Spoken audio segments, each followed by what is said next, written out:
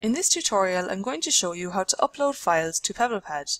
There are actually many ways of uploading files to PebblePad. I'll discuss the three most popular ways here. The first is, from your PebblePad homepage you will see this Upload New panel.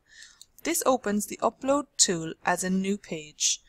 The Upload tool provides you with two easy ways to select files for upload. You can browse for files in your file manager, for example Windows, File Explorer or Finder in Mac and simply drag and drop the files on the Drag a File Here area. This option is not available on touch devices. Alternatively, clicking on or choose a file will open up a file manager window for you to browse and select the files you would like to upload. With either option you can select a single file or select and upload multiple files at once. Once you have selected the correct file for upload, you can then Change the name of the file, add a description for the file, or add a tag to your file, and then click on Confirm Upload. The second method is to click on the Burger menu and choose the option to upload a file.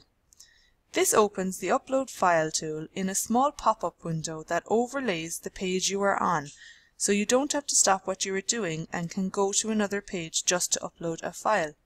For example, if you're completing a large workbook and realize you need to upload evidence for a particular question, uploading from the Burger menu means you can stay on task. From here, the process of uploading is the same as the first method. The third method is when you are adding an image to a portfolio. So I'm opening up a portfolio here and I'm going to open up one of the pages.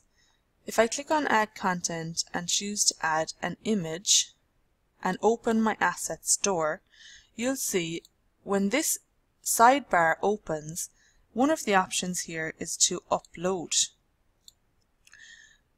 When clicked, this will display the upload tool within the sidebar.